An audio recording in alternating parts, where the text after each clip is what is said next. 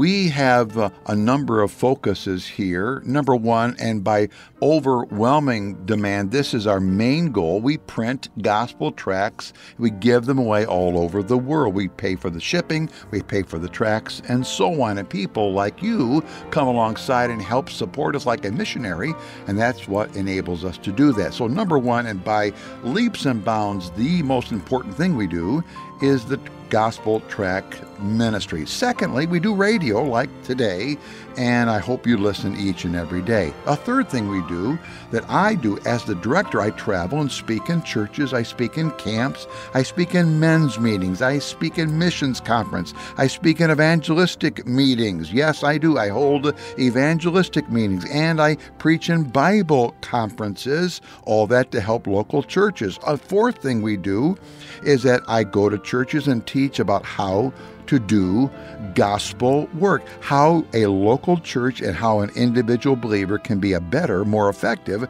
gospel teller. I share key steps on starting to become a gospel witness. I share key ways to use tracts in your personal outreach life day by day. Now, all this is said to make this one point.